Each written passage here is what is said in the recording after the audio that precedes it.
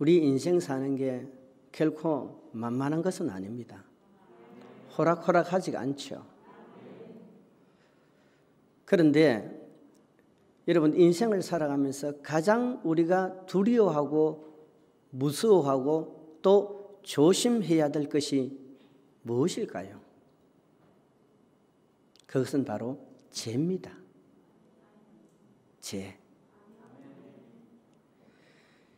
죄는 개인적으로 그 죄가 들어오면 그 개인이 망하고 가정적으로 그 죄가 가정에 들어오면 그 가정은 반드시 망합니다. 국가적으로도 여러분 세계 역사를 보면은 죄가 들어오면은 다 망했어요. 그런데 더 무서운 것은 이것으로 끝나지 않는다는 거예요. 히브리스 9장 27절에 여러분과 나는 원하든 원치 않든 반드시 하나님 심판대에 서게 되어지고 하나님 앞에 그 심판의 대가를 치러야 되는 겁니다. 그렇기 때문에 사람이 인생을 살아갈 때 능력이 없어서 망하는 사람은 별로 없습니다. 여러분, 재능이 부족해서 잘못되는 경우는 거의 없어요. 왜 망하느냐? 왜 실패하느냐? 대부분은 제 문제에 걸려 있기 때문이에요. 하나님 앞에서 가로막힌 채 사람 사람 관계에서도 이 교만과 미움의 죄, 그 외에도 얼마나 많은 죄들이 있습니까? 그런데 요한 1서 3장 8절에 보면은 성경은 이렇게 말하지요. 우리 같이 한번 읽어볼까요? 죄를 짓는 자는 마귀에게 속한 나니 마귀는 처음부터 범죄합니다. 여기 보세요. 여기까지. 죄를 짓는 자는 어디에 속했다고요? 마귀에 속했. 여러분 마귀가 저와 여러분에게 접근할 때 형태를 가지고 접근하고 모양을 가지고 접근을 한다면 우리는 아직의 마귀구나라고 분명히 분별이 되어져요. 하지만 마귀는 모양이나 형태를 가지고 접근하는 것이 아니라 우리에게 욕심이라는 죄, 이 죄라는 이 엄청난 무겁고 무서운 저주를 가지고 우리에게 접근해 들어오면서 우리를 향하여 뭐라고 말합니까? 이것이 살 길이라고 말합니다. 요한복음 8장 44절에도 성경은 말하잖아요. 마귀에게 속한 자, 거짓말장이 진리가 그 속에 없고 그는 살인자라고. 자, 그런데 여러분 한 구절 더 찾아봅시다. 그러면 이 제 문제가 왜 또 크고 무서우냐? 욥기 같이 찾으셔야 됩니다. 21장 19절. 특별히 여러분 어르신 우리 부모님 되시는 분들은 또 부모가 예수를 믿지 않는 우리 자녀들 또 자녀가 예수를 믿지 않는 우리 부모들 이 말씀을 다 신중하고 의미 있게 읽으셔야 돼요. 자, 같이 읽습니다. 시작. 하나님이 그의 제약을 쌓아 두셨다가 그 자손에게 갚으신다 하거니와 그 몸에 갚으셔서 그로 깨닫게 하셔야 할 것이라. 아멘. 네.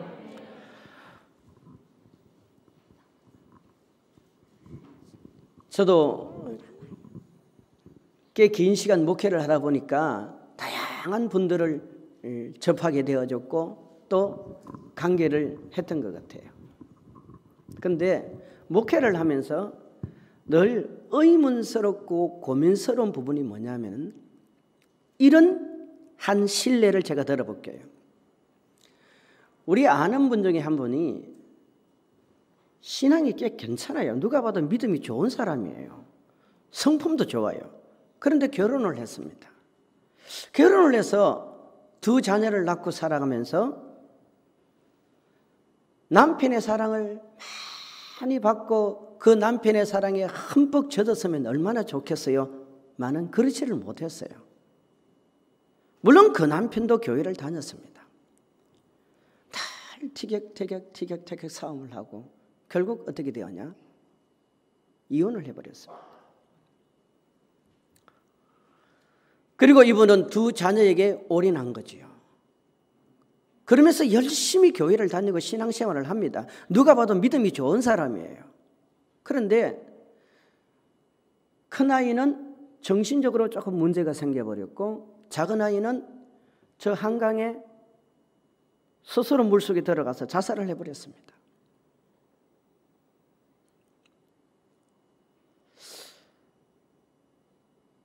좋은 결과가 아니지 않습니까? 믿지 않은 사람들에게 덕이 분명히 안 되는 교훈입니다. 물론 이 문제의 해결점은 하나님께서만이 아실 거예요. 하지만 우리가 성경의 근거에서 보면은 욥이 뭐라고 말합니까?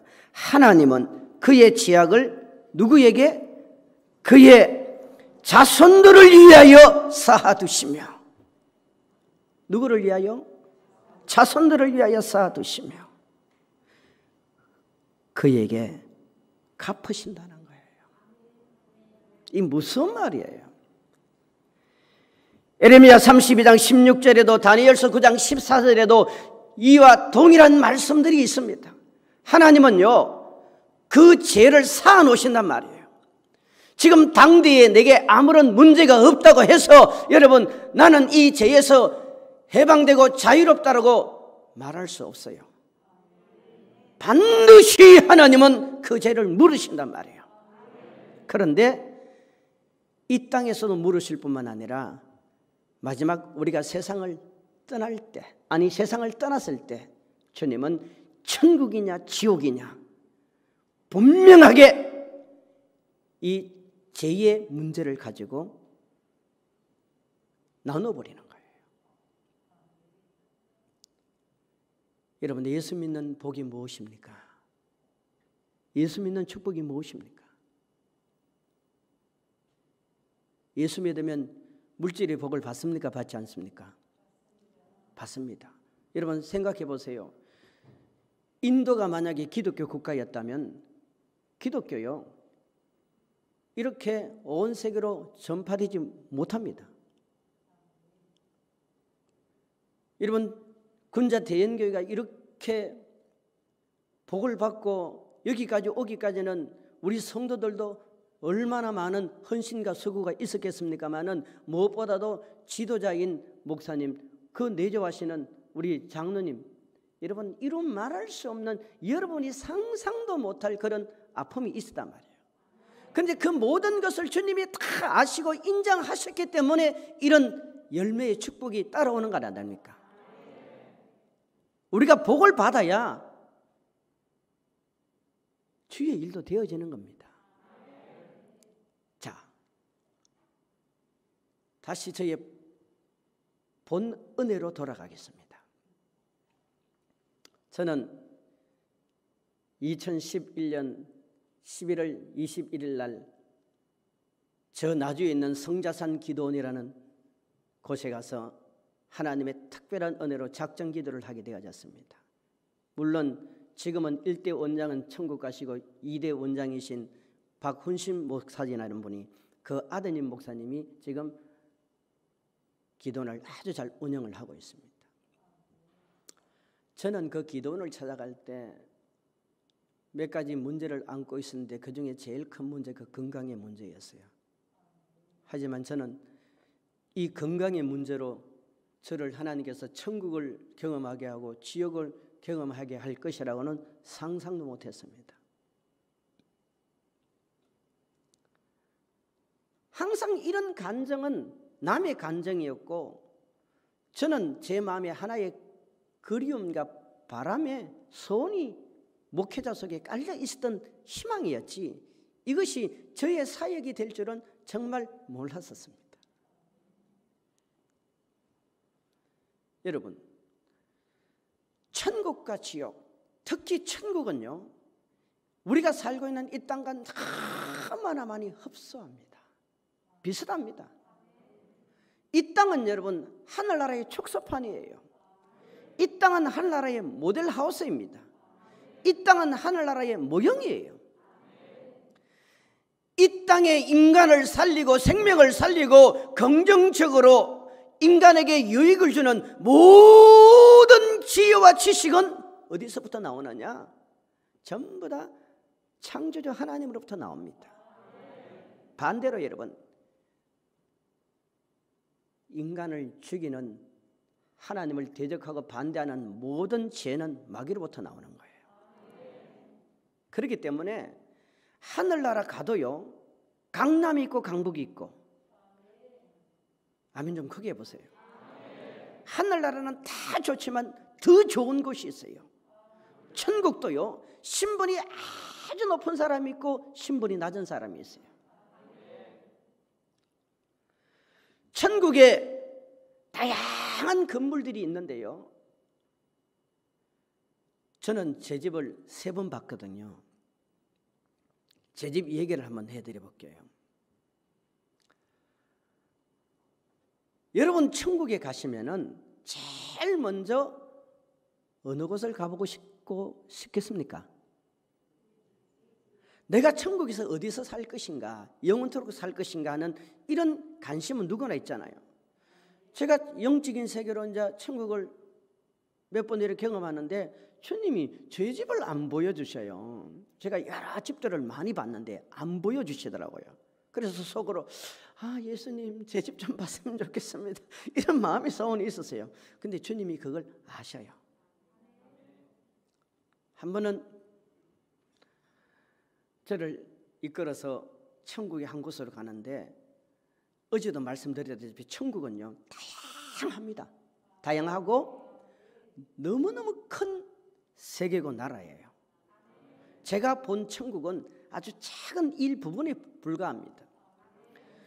아주 크고 넓은 황금들판이 쫙 펼쳐지는데 그 주변에 보니까 자연 환경이요. 가히 표현할 수 없을 정도로 아름답고 멋있어요. 저 앞쪽으로는요. 시냇물이 흘러 흘러 넘치는 이런 정말 꿈에나 볼 수 있는 이런 계곡 같은 그런 것이 보이고 그리고 이 산, 산이 이 산이 평풍처럼 쫙 펼쳐지는데 너무나 멋있는 그런 것이에요. 그런 앞쪽에 이런 황금들판이 쫙 펼쳐지는데 그 앞에 제가 이래 섰습니다. 저녁에 부들림 받아가지고 보니까 아 건물이 없어요. 건물이 뭐가 없다고요? 건물이 실제 없어요. 아주 큰 왕궁을 짓기 위한 궁터를 막 설계에 의해서 세워가듯이 건축물이 지상으로 이렇게 세워지기보다는 지상으로 건축물을 세우기 위한 기초공사가 거의 99% 끝난 상태로 딱 멈춰 있더라고요. 여러분 그걸 제가 보면서요 깜짝 놀랐습니다. 전 초등학교 4학년 때 은혜를 받은 사람이에요. 전 94년도에 안수를 받았습니다. 목회 외에는 다른 걸 해본 적이 없습니다. 나름대로 올인했어요. 그런데 2011년 12월 그때가 6인가 7일이나 그 정도쯤 됐어요. 그때 제가 영적인 세계 4일부터 열렸으니까 들어갔는데 내 집이 없는 거예요. 그러면서 제 마음에 너무너무 무섭고 두려운 생각이 막 들어오더라고요. 그 짧은 시간인데도 불구하고 지나온 나의 삶이 마치 주마등처럼 스쳐 지나가는데요. 세상에 세상에 부끄러운 것밖에 없어요. 어쩌면 그렇게 부끄러운 것밖에 없습니까? 저는 학교 다닐 때부터 소음이 별명이 착한 목사, 착한 학생이 착한 학생. 그래 보이지 않아요? 착한 표라고 이렇게 붙어 있어요. 전 생각해 보면은 중고등학교 시절에도요 교회 다니면서 목사님이나 전도사님이나 뭐 이렇게 선생님들이 말씀하시면은 불순종한 경험이 별로 없어요. 저희들은 어릴 적에 중고등학교 때부터 교회 열심히 다니는 사람은 반사를 보조하는 역할을 해가지고 명찰 날라주고 출석부 날라주고 간식 날라주고 우리 다 그렇게 하면서 교회에서 자랐거든요. 그리고 은혜 가운데 성전 건축도 했어요. 목회를 크게 하지는 않았지만 그래도 꽤 칭찬을 받으면서 좋은 목사로 그렇게 제가 이미지 관리를 하고 있었습니다. 그런데 내 집이 없어요. 없더라니까요. 너무나 부끄럽고 송구스러워서 고개를 못 들었습니다. 그때 주님이 그러더라고요. 사랑하는 종아, 기회가 있잖아. 기회가 있잖아. 이걸 바꿔 말하면요. 제가 그때 간이 문제가 되어서 세상을 떠나버렸다면 저는 천국에 내 집이 있어요, 없어요? 없어요. 없어요. 많은 사람들이 착각하는 것 중에 하나가 뭐냐면은 예수만 믿으면 천국에 내 집은 자동적으로 만들어진다고 생각합니다. 아니에요. 절대 아니에요. 그러면 왜 그것이 저한테 목사였음에도 불구하고 그래 했느냐? 제가 나중에 깨달은 거예요. 왜냐하면 그때는 영이 계속 열린 상태에서 주님과 이 관계가 되어지고 있었기 때문에요. 눈만 뜨면요, 아, 눈만 감으면 영적인 세계가 보이더라고요. 여러분 성령이 어디 계십니까? 주님이 어디 계세요? 내 속에 계세요. 내 속에. 우리가 주님이 순간순간 성령으로 말씀하시는데도 불구하고 내가 못 알아듣고 못 느끼는 것은 내 육이 영적인 감각, 영적인 신경을 다 마비시켜 놔버렸기 때문이에요. 그런데 영의 기능이 살아나고 육이 영의 기능에 굴복되어지면은 성령은 바로 여러분 속에서 말씀하셔요. 저 속에 뭐가 있는 줄 아십니까? 교만함입니다. 저는 칭찬을 많이 듣다 보니까 내가 잘하는 줄 알았어. 의연 중에 친구들을 만나거나 어떤 일을 할 때도 당연히 내가 해야지 이런 게 제 베이스 속에 상당히 깔려 있었습니다. 전 학교 다닐 때도 같은 동료들 중에서도 조금 잘한다는 칭찬을 많이 들었어요. 그러다 보니까 저는 항상 제 나름대로 잘한다고 생각하는 게 있었어요. 근데 하나님의 관점에서는 그게 아니더라고요. 여러분 마태복음 6장에 가면요. 성경이 뭐라고 말합니까? 오른손이 하는 것을 왼손이 알도록 해라. 왼손이 하는 것을 오른쪽 다리도 알도록 욕심이 있어. 마치 예수님의 제자들 같이 으뜸이 되고자 하는 그런 욕심과 교만함이 우리 속에 다 깔려 있는 거야. 그러면서 예수님을 거역하고 배반하고 배척하는 일을 나도 모르게 우리 속에 있단 말이에요. 그리고 나서요.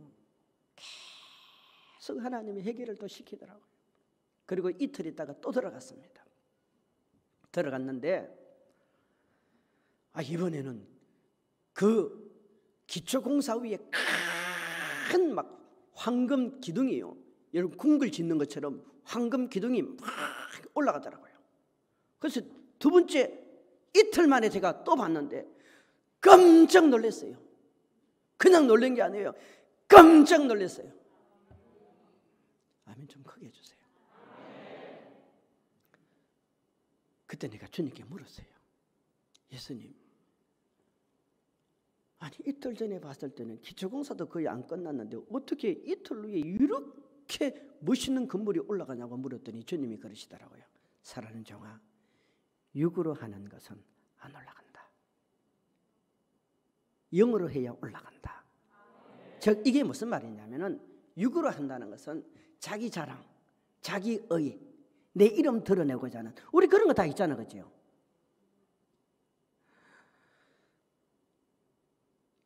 이런 것이 깔려가지고 뭔가 세상에서 어깨를 피고 의시되고 우리 왜 자랑스럽게 의기양양 다니면서 예수님의 영광을 다 가르치는 사람들이 많단 말이에요. 그러면 이 땅에서 영광 다 받는 거예요. 마치 무엇과 같으냐면은 요셉은 이 땅에서 영광을 다 받았잖아요. 그 요셉의 자녀들이 열두 지파 속에 들어가지 않습니까? 마찬가지로 이 땅에서 다 받아버리면은 하늘나라 가면은 상이 적어요. 그런데 이게 있어요. 나는 가만히 있는데 다른 사람이 나를 인정해주고 다른 사람이 나를 환영해주고 하는 것은 자랑이 아니에요. 그건 간정이에요. 간정. 간정. 아, 주님이 좀 구별을 하시는 것 같아요. 그리고요, 3개월 있다가 제가 그 집을 또 봤습니다. 어떨까요? 아주 큰 빌딩이 올라가요. 왜 그러냐면요. 그 3개월 있다가 봤을 때는 제가 초창기 영적인 경험을 하고 나서 핍박을 많이 받았습니다. 그러면서도 주님이 계속 전하라 하시더라고요. 그래서 제 나름대로 영적 싸움을 하면서 전진하고 전진하고 전진하고 갔더니 3개월 후에 주님이 저를 위로하시려고 영적인 세계를 이틀 또 불러 들어갔어요. 그건 책에도 기록도 안 했어요. 근데 보니까 어마어마한 고층 빌딩이 세워져요. 할렐루야. 여러분, 천국은요, 내가 죄를 지어서 나쁜 짓 하고 못된 짓 해가지고 그렇게 억울한 일을 당하는 일은 회개해야 됩니다.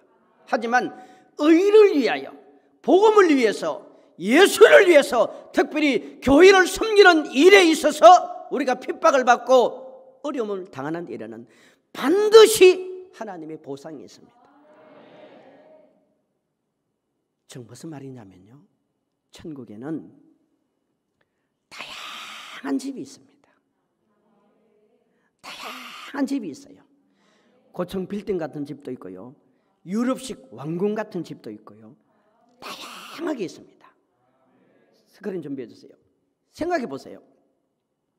우리가 사는 세상을 보면서 우리가 하늘나라를 믿음의 영을 열어서 한번 상상의 믿음의 그림을 한번 그려보시란 말이에요. 자, 여러분 우리가 살고 있는 이 지역을 한번 생각해 보세요. 여기 지구본 좀 띄워주세요. 여기 보면은 아니 아니 아트 앞에 맨 앞쪽부터 가시죠. 그 앞에부터 한번 갑시다. 우리 빨리 좀 진행할게요. 여러분 이게 시영시가 아니고 서울시입니다. 제가 서영시를 준비를 못했습니다. 저기에 중앙에 뭐가 보입니까? 남산 타워 보이죠? 자, 여러분 서울시에 여러분 자녀들도 있을 것이고 또 아는 분이 많이 있을 텐데 아시는 집 찾아보세요. 찾을 수 있습니까? 못 찾지요. 서울시가 얼마나 큽니까? 그 다음 넘어가 보세요. 이게 지구본입니다. 여러분 이 지구본에서 우리 대한민국 찾아보세요. 찾았습니까? 그 대한민국의 서울시 찾아보세요. 시흥시 찍어보세요. 군자 대연교회 표시해 보세요. 할 수 있어요, 없어요? 못해요. 이렇게 큰 지구도요. 그 다음 봐요. 태양입니다. 매일 둥근 해가 떴습니다. 이 태양, 태양에 비하면 지구 어디 있습니까? 예? 찾았지요? 표시 좀 해주세요. 저 있네. 찾았지요? 그 지구 위에 대한민국 찾아보시라니까. 서울 시내 찾아보세요. 보여 안 보여? 안 보이잖아. 지구에 비하면 태양은 어마어마하게 큰 거예요. 우리가 손가락으로 태양을 가린다고 태양이 지구보다 적다고 생각하면 아직도 좀 덜 깨신 분이에요. 그 다음에 넘어갑시다. 자, 이게 뭐라고 나와 있습니까? 큰 계자리 VY 거기에 비해서 태양 찾아보세요. 어디 있어요? 점이죠. 그 점 안에 지구 찾아보세요. 대한민국 찾아보세요. 찾을 수 있어요, 없어요? 없어요. 이렇게 큰 지구도 태양도 이 별에 비하면 아무것도 아니에요. 그 다음에 넘어갑시다. 읽어보실래요? 시작.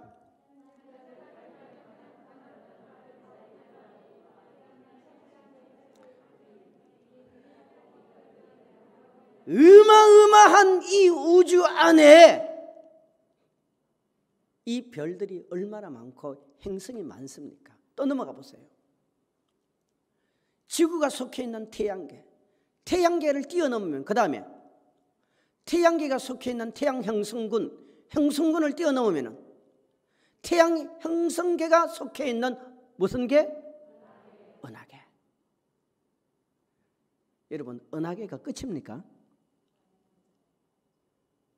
우리 다 알고 있는 사실임에도 불구하고 이걸 인식을 안 하고 살고 있는 거예요. 지금 이렇게 과학이 발달하고 우주가 지금 우리 손에 곧 돌아 들어올 것 같이 우주를 개발을 하고 있지만 이 우주계가 어느 정도 넓은지 아무도 모릅니다. 지금도 폭발하잖아요. 행성들이 그러면 영적인 세계는 어떻게 했어요? 여러분 천국은 어떻게 했어요? 지옥은 어떻게 했어요? 우리 눈에 보이는 이 육의 세계도 이 정도로 넓고 큰 세계인데 영적인 세계 그 영적인 세계를 통찰하시고 통치하시는 하나님은 어떤 분이냐 이 말이에요. 하나님은 어떤 분이냐? 계시록 21장 갑시다. 우리 어제 보신 말씀이지만 한 번 더 볼게요. 계시록 21장 자 16절로 봅니다. 시작 그 성은 네모가 반듯하여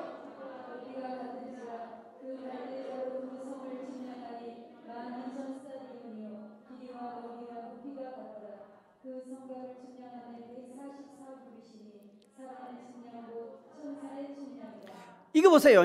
계시록 21장에는요. 새 하늘과 새 땅에 대한 신천 천지에 대한 세계를 말씀하면서 근원적으로 하늘나라는 위에서부터 내려오는 것에 대해서는 설명을 합니다. 그런데 여기에 새 에루살렘이라는 한 성을 말하는 거예요. 저는 지금 계시록을 해석하는 사람이 아닙니다. 이 새 에루살렘은요. 하늘나라의 많은 성 가운데 대표성을 말하는 겁니다. 여러분 이 지구상 위에 수많은 나라들이 있지만 나라의 대표는 대한민국이 아닙니다. 이스라엘입니다. 민족의 대표는 누굽니까?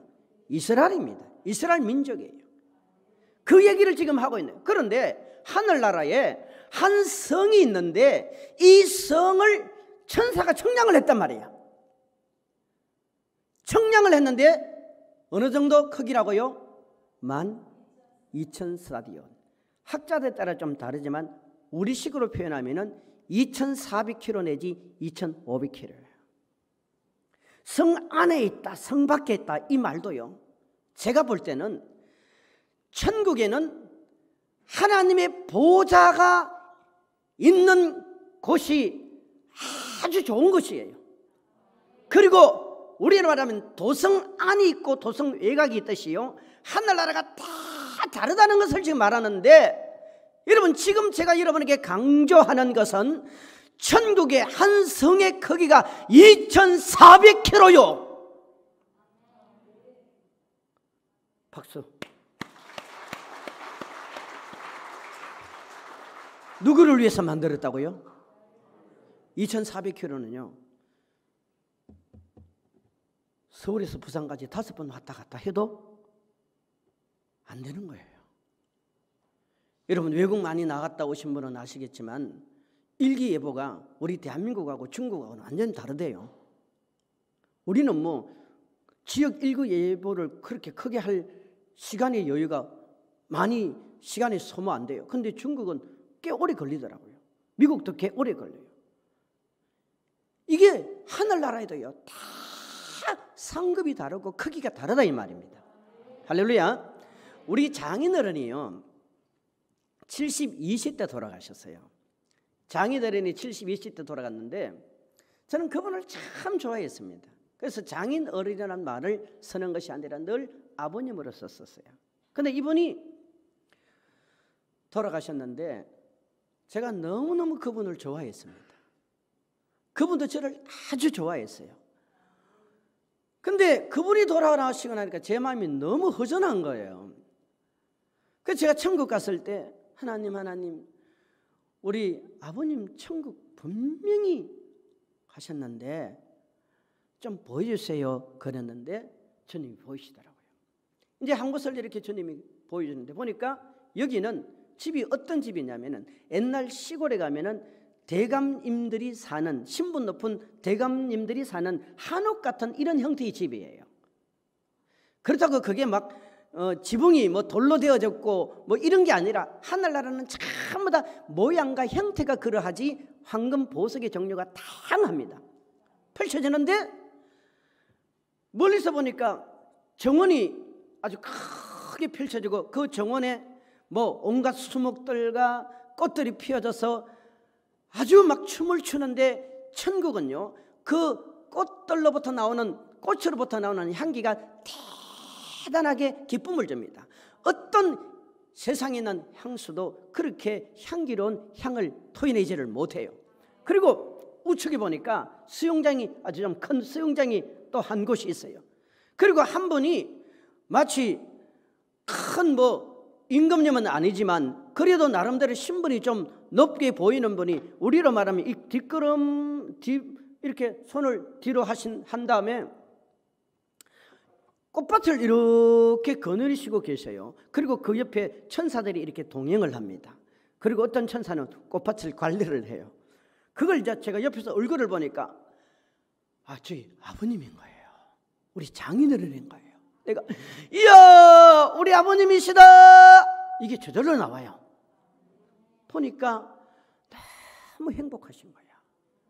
그런데 신기한 것은 우리 아버님이 72세의 세상 떠났는데 30대 총각인 거야. 30대 총각 얼굴이.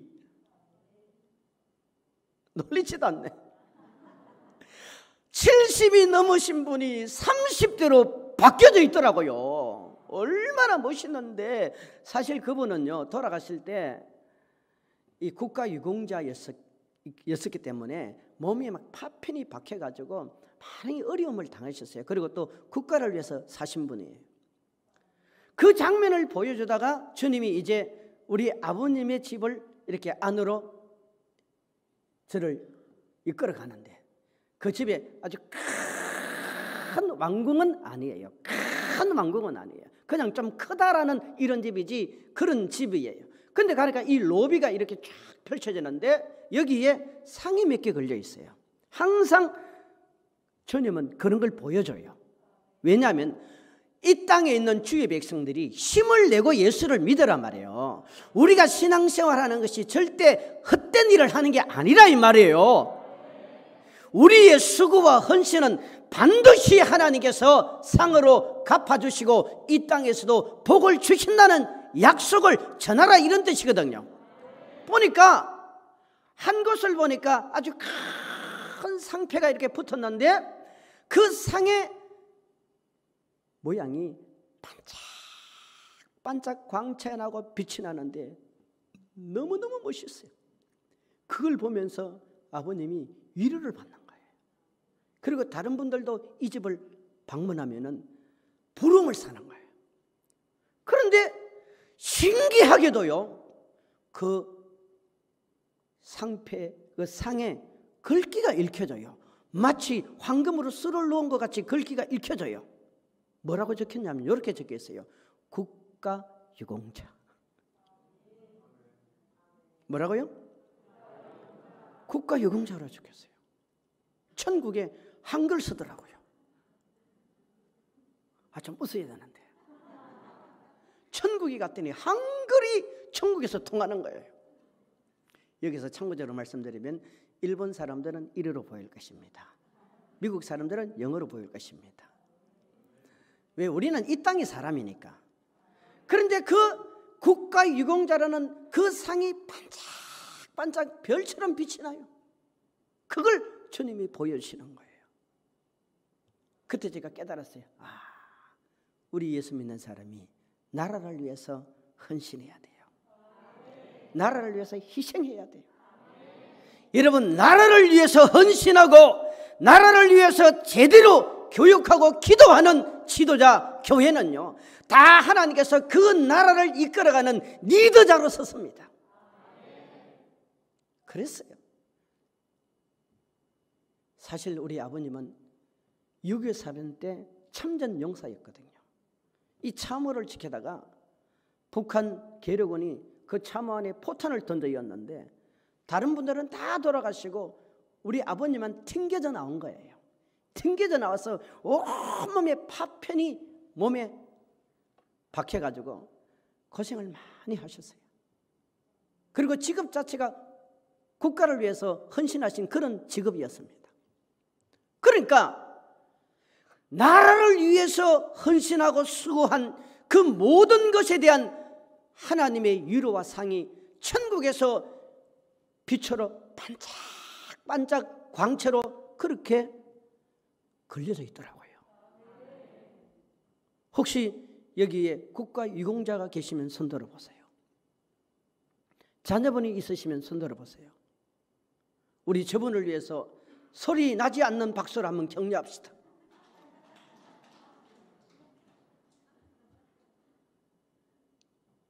우리는 우리가 속한 대한민국을 사랑해야 됩니다. 그리고 주님이 다시 저를 그 집 밖으로 이렇게 데려 나오는데 제가 들어올 때 우측에 뭐가 있다 그랬죠? 수영장이 있어 그랬죠? 아, 꽃밭을 거느시던 그 아버님이 젊은 청년 아버님이에요. 수용하시려고 준비를 하고 있는 장면까지 제가 봤잖아요.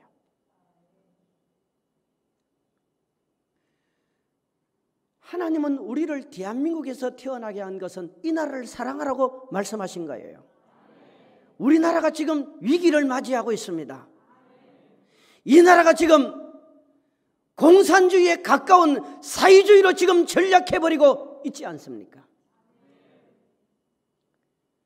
대한민국 헌법을 존중해야 돼요. 자유민주주의, 자유시장 경제라는 이 가치를 아는 지도자가 이 나라의 대통령으로 세워져야 됩니다. 여러분 동의하십니까?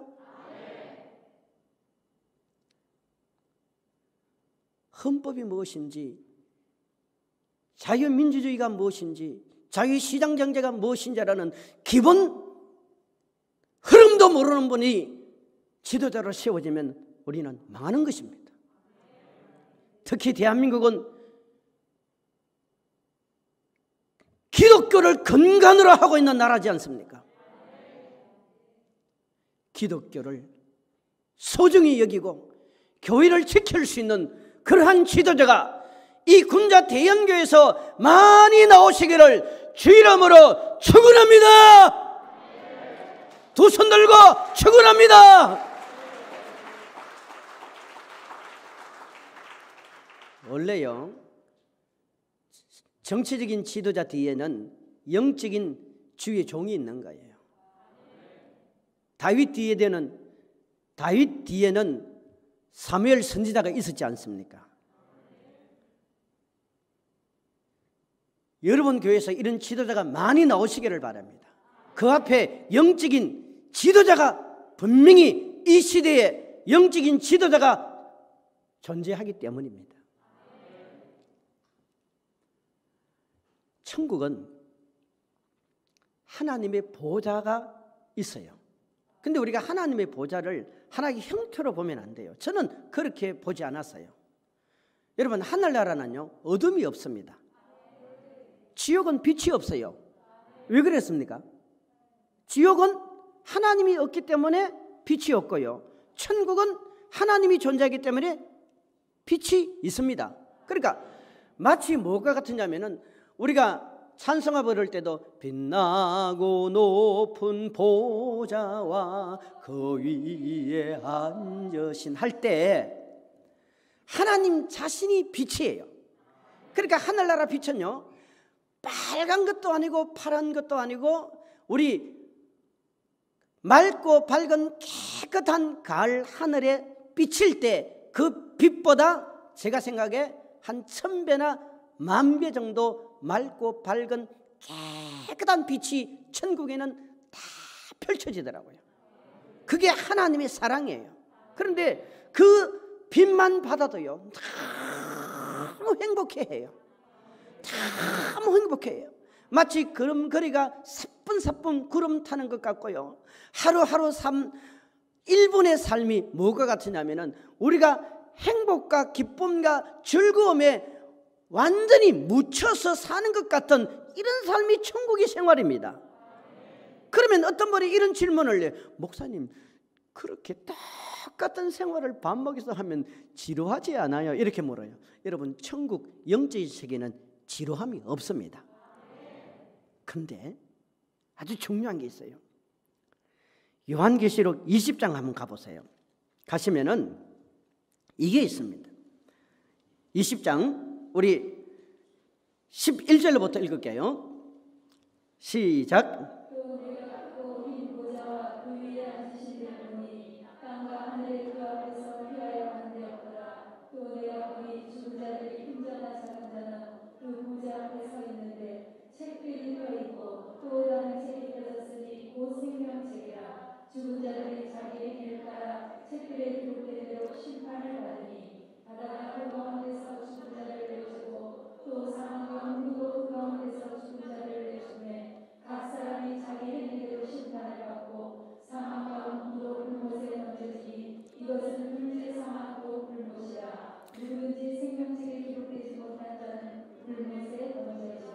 아멘.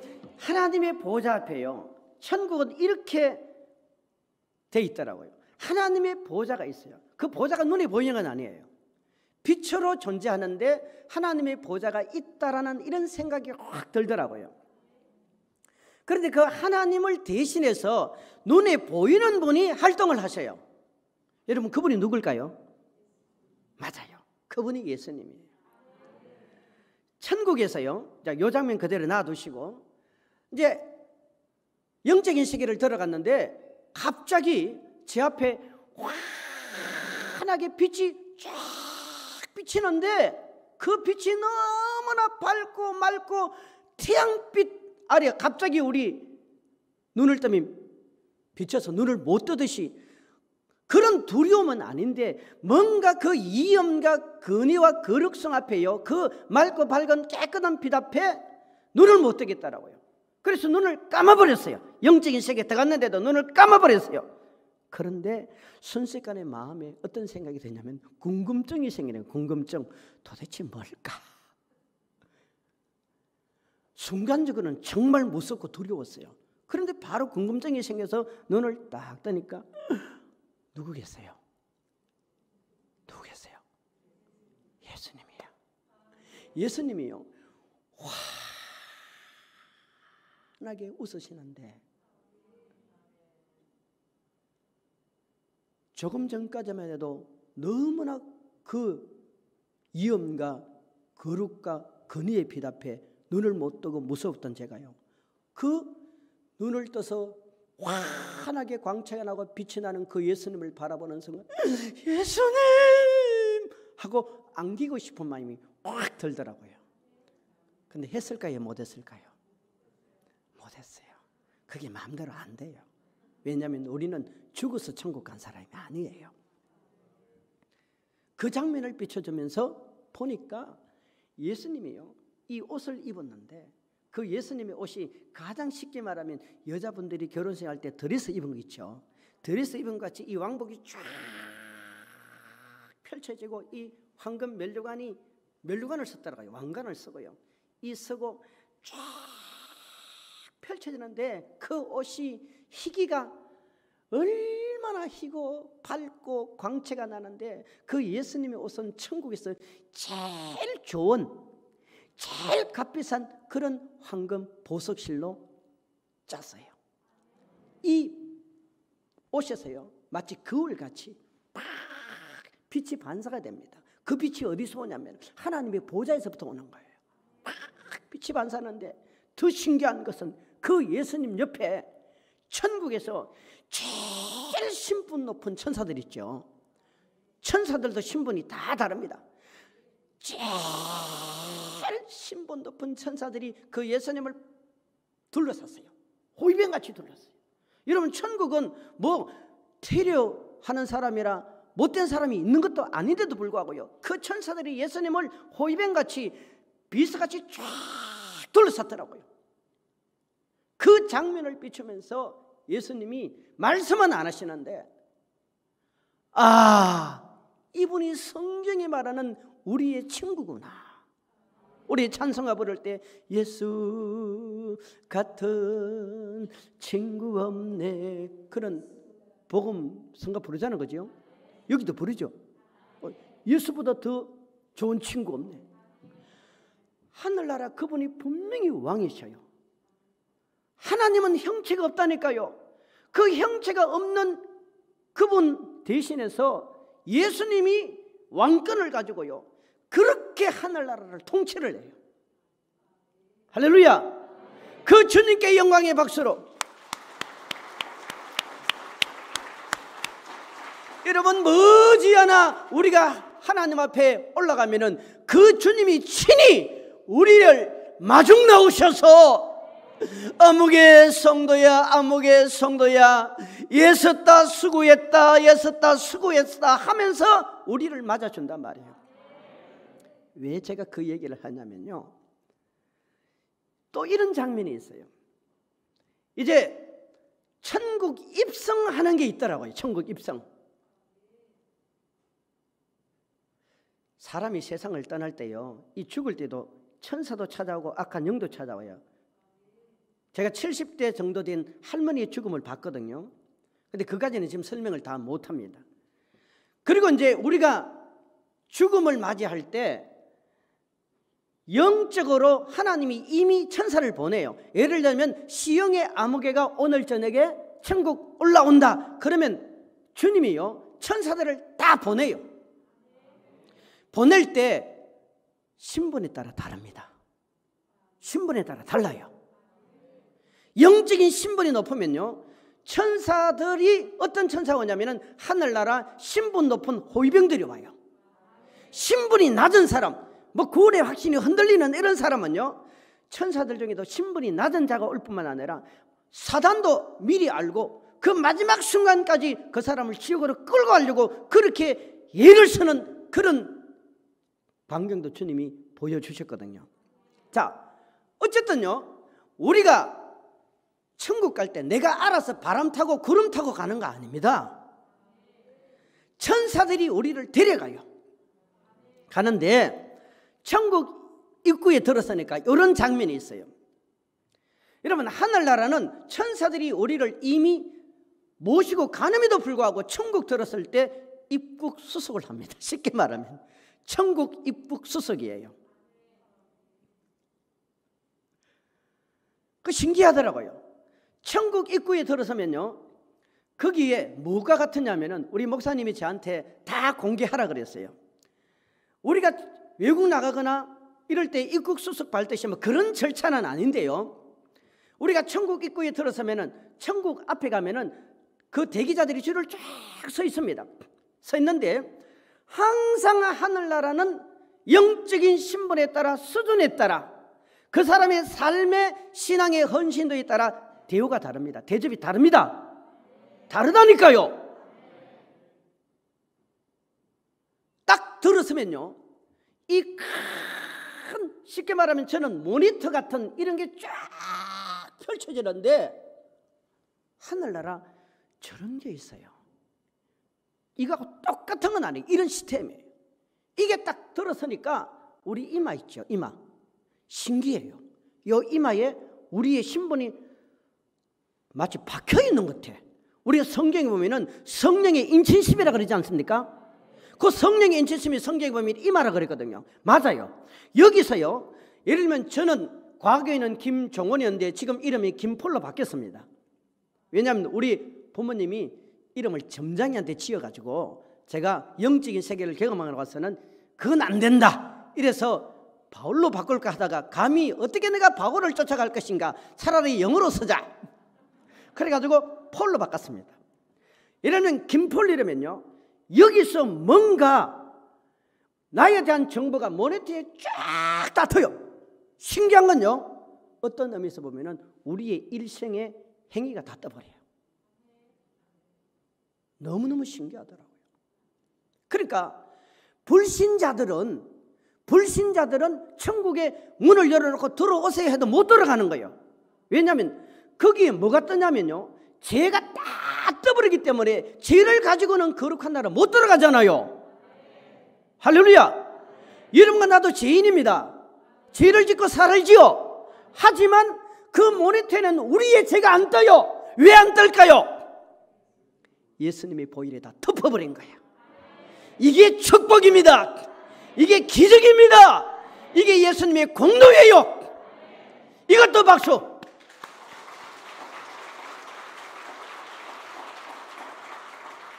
신기해요, 신기해. 나에 대한 정보가 딱 놔두고요. 거기서 막 들어가면 막 빵빠레 울리면서 수많은 천군 천사들이요. 우리를 환영해요. 내가 가는 걸 다 알고 있어요. 그 다음에 그 중간에는 어떤 일이 있는지 모릅니다.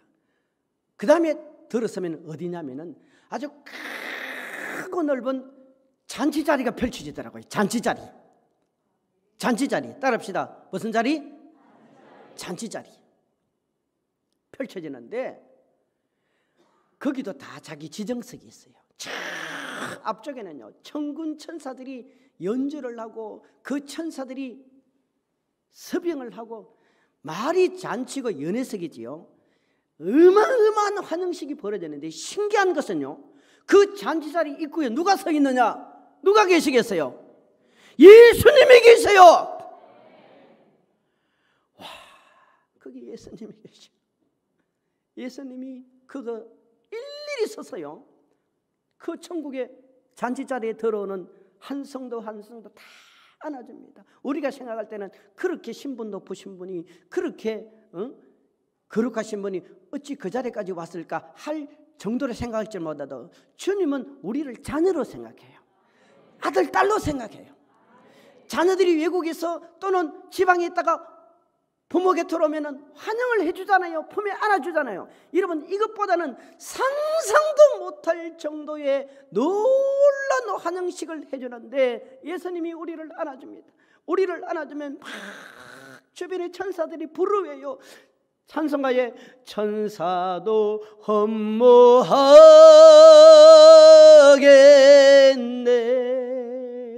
하목게 하라신 여러분 다른 찬송가 쓰십니까? 거기서 천사들이요 너무너무 부러워해요 그러면 어떤 줄 아세요? 자동적으로 예수님 예수님 이게 슬픔의 눈물이 아니에요. 무슨 눈물줄 아세요? 위로의 눈물, 기쁨의 눈물. 그러면서 순식간에 어떤 생각이 들어요. 맞아, 맞아. 내가 그때 우리 교회에서 천국 집회할 때 그때 남편이 핍박했음에도 불구하고 내가 그 자리에 잘 갔지. 내가 그때 생활이 어려웠음에도 불구하고 내가 11조 제대로 잘했지. 내가 그때 전도하기 싫었음에도 불구하고 교회에서 전도하자고 할 때 억지로라도 끌려나가서 전도했는데 세상에 그것이 하늘나라 다 상으로 기록되어져 있네. 주님이 그 사실을 말씀 안 하셔도요.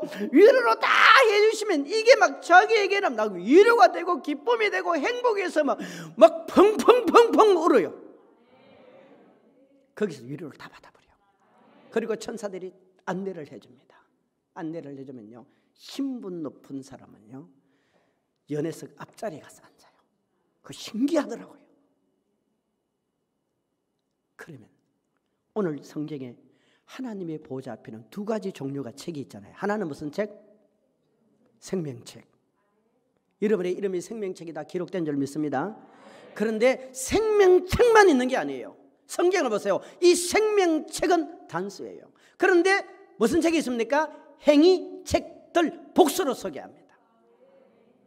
여러분 하늘나라요. 행위 책들이 있어요. 성경에는 다섯 종류의 책을 말하거든요. 행위 책들이 있는데 이 책에는요. 각자 이름이 다 기록이 다 되어 있어요. 기록이 다 되어 있어요. 천사들은 세 종류의 천사의 역할을 하더라고요. 하나는 하늘나라에서만 활동하는 천사가 있어요. 또 하나는 하늘나라와 이 땅 사이를 왕래하는 전령천사가 있어요. 그리고 또 하나는 이 땅에서 활동하는 천사가 있습니다. 여러분 물어봅시다. 일반인에게도 천사들이 그를 도와줍니까? 안 도와줍니까? 예? 도와줘요? 안 도와줘요? 일반인도 천사들이 도와줍니다. 그건 일반 은총이에요. 왜인 줄 아세요? 그들 속에도 하나님의 형상과 모양을 닮은 하나님의 자녀이기 때문입니다. 그러나 그들은 물과 성령으로 거듭나지 않았기 때문에 영이 어떤 상태예요? 죽은 상태예요. 하나님의 자녀이지만 하나님의 자녀이지만 생명책에 기록되지 못한 물과 성령으로 거듭나지 못한 자들이에요. 하지만 주님이 이 땅에 사는 동안은 필요에 따라 천사들을 통해서 그들을 도와줍니다. 하지만 물과 성령으로 거듭나 하나님의 자녀 생명책에 이름이 기록된 자녀들은 달라요. 우리는 특권이 있어요. 우리 신분이 달라요. 그런데 우리를 위해서 특별히 우리를 보호하는 천사들이 있거든요. 그런데 문제는 자 오늘 김폴 목사가 제가 여러분의 교회에 와서 참 목사님 장로님 사랑도 많이 받고 대접도 잘 받고 분에 넘치도록 지금 이렇게 은혜를 받고 있는 겁니다. 아직 자 랑하고 칭찬하는데 왜 아멘을 크게 하시면 좋을 텐데. 그러면 이것이 제가 하는 모든 일을 이 전령천사가 하늘나라에서 보고를 해요. 보고. 저만 그런 게 아니에요. 여러분도 그래요. 여러분의 목사님도 그렇고 보고를 해요. 이 천사들은요 얼마나 빠르게 움직이냐고 보고를. 그러면요 그 나라에 가서 지금 요 부분이 기록이 되는 거예요. 하나님의 보좌 앞에 있는 행위책에 기록이 돼요. 기록이 어느 정도 기록되는 아세요? 연, 월, 일, 시, 분, 초까지 기록돼요. 잘 안 믿어지시죠? 그건 꼭 아멘 안 해도 되는데 잘 안 믿어지시죠? 아니에요. 하늘나라도 주님이 회의도 하시고 보고도 받으시고 다 해요. 그러면 문제는 여기 있단 말이에요. 우리가 선한 일만 합니까? 악한 일도 하잖아요. 선한 일을 할 때는요. 선한 일이 기록되어지지 않습니까? 기록되어진 이 근거 가지고 주님이 명을 내립니다. 아, 그 군자 대형교회 아무개 성도 오늘 일해서 그러면 천사가 바로 그거 보호받고 하나라 보석 창고문이 열리면서 그 보석 창고문이 열리면서 그 보석 가지고 여러분 황금집이 지어지고 멸류관이 만들어지고 상급이 만들어지고 그 창고 보석문이 열리면서 이 땅에 축복으로 내려오는 거예요. 그러면 이런 축복의 근거가 어디 있냐? 전부 다 하나님의 보좌 앞에 있는 이 행위책의 근거가 있다 이 말이에요. 그래서 하나님은요. 어느 지역에 살기 때문에 어떤 집안의 가문의 혈통을 타기 때문에 이거 보는 거 아니에요. 이 사람의 학력이 어느 정도야. 이 사람의 지적인 수준이 어느 정도야 이게 아니에요. 우리 주님은 우리 모두가 무엇을 보시느냐? 믿음의 행위를 보는 거야. 믿음의 선한 행위를 보는 거예요. 그러면 우리가 죄를 짓지 않습니까? 죄를 지으신 것은 우리가 회개할 때 주님이 보일로 다 덮어버리는 거예요. 다 덮어버려요. 여러분 그러면 우리가 죄를 지었는데도 회개하지 못하는 경우도 있잖아요. 그런데 그것마저도 예수 안에 들어가 있는 사람은 이미 물과 성령으로 거듭나서 예수를 날마다 제대로 만난 사람은 그것마저도 다 주의 보일이 덮어버립니다. 그런데 주님이요, 같은 일을 해도 하늘나라에 더 큰, 더 큰 상으로 연결되는 일이 있어요. 주님이 더 기뻐하는 일이 있어요. 그것을 주님이 저한테 보여주셨어요. 물론 성경을 찾아봐도 이건 사실이더라고요. 여러 가지가 있지만 첫 번째가 뭔지 아세요? 주님이 제일 기뻐하는 게 뭔지 아십니까? 하늘나라 제일 큰 상이 뭔지 아십니까? 시작. 그럼요. 영혼 살리는 거예요. 영혼 살리는 만큼요. 하늘나라 큰 상이 없어요. 영혼 살리는 만큼 하늘나라 큰 보상이 그거 이상은 정말 없어요. 우리 주님이 영혼 살리기 위해서 당신이 죽어버렸잖아요. 영혼 살려야 돼요. 전도해야 돼요. 두 번째 제가 볼 때는요. 성전 건축이 그렇게 큰 상이에요. 성전 건축. 여러분 대부분 보세요. 성전 건축한 교회, 성전 건축한 목사님들이 복을 많이 받아요. 그리고 자녀들이 다 잘 돼요. 거기에 동참한 성도들이 다 잘 돼요. 물론 영적으로 보는데 우리 몸이 성전이지만요. 이 성전만을 말하는 게 아니에요. 여러분 눈에 보이는 이 성전은요. 여기가 예배가 드려지고 여기에 찬양이 있고 여기에 기도가 있고 여기 하나님의 임재가 있잖아요. 아무리 여러분 금은 보화를 들어가지고 건물을 잘 지어놔도 거기는 하나님의 예배의 처소가 아니에요. 예배는 인격대 인격으로 비대민이 아니라 대민 예배로 들이대야 되지 않습니까? 성전 건축하는 게 그렇게 큰 축복이에요. 여러분 더 큰 성전을 우리 교회를 짓지 않으면은 지교회를 세우고 성교 지역에 세우고 계속 세워가야 돼요. 그리고 그 자리에서 주의 일꾼들을 비춰야 됩니다. 하늘나라 이 행위책의 큰 상 가운데 성전 건축이 그렇게 커요. 그리고 또 하나 비결 가르쳐 드릴까요? 목회자를 잘 섬기는 게요. 너무너무 기뻐합니다. 쉽게 말하면요.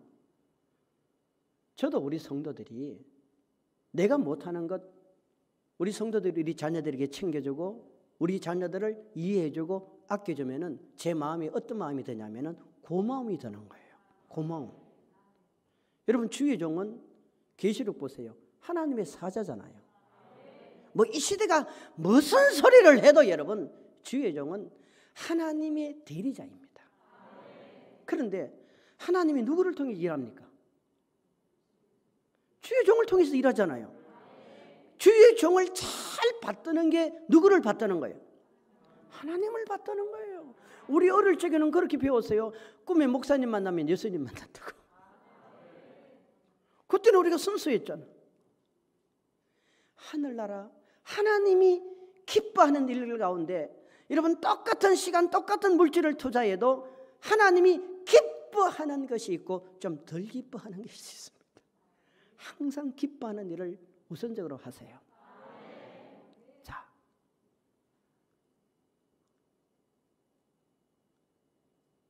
다시 지옥으로 갑니다.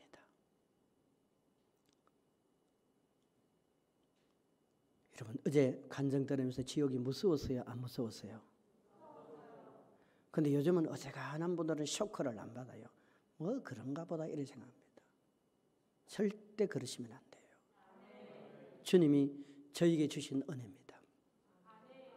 앞으로 영적인 세계를 많이 열어버린대요. 많이 열어버린대요. 왜 여는 줄 아세요? 사람들의 심령이 너무 강박해. 어지간 이런 일에는 잔치집에 가도 춤을 추지 않고 장례식 집에 가도 울지를 않는 거예요. 이게 감정이 다 메말라 버렸어요. 그래서 여기서 도레미파솔라시다 해도 밑에는 도로 감정이 생길까 말까 이런 시대가 되어버렸어요. 그래서 지금 중등 지역에는 초자연적인 역사들이 일어나지 않습니까? 왜 그러냐면 거기는 복음이 들을 수 있는 기회가 적고 주의 종들이 거의 없어요. 자, 어제 제가 어린아이들이 지옥에 많이 가 있다 그랬죠. 우리 낙태를 막아야 됩니다. 그리고 그때 제가 빠진 것 중에 하나 보충하면요. 주님이 저한테 그러셨어요. 예배 시간에 저 아이들이 장난치고 저 아이들이 떠드는 곁에도 그 아이들도 영의 말씀을 듣는다는 거예요. 가서 물어보면 아이들이 알아요. 그런데 어른들은 저 아이들의 영혼을 소중하게 생각하지 않는 거예요. 그게 주님이 너무 안타깝다는 거예요. 이제 한 곳을 또 갔는데요. 여기는 한 여자아이가 앉아 있더라고요. 한 여자아이가 앉아 있는데 이 머리가 이렇게 단발머리 같이 조금 길고 얼굴이 나이가 많아 본들 한 16, 7 정도 되는 여자 소녀예요, 소녀. 물론 지옥에서 심판받는 장면은 그게 아니에요.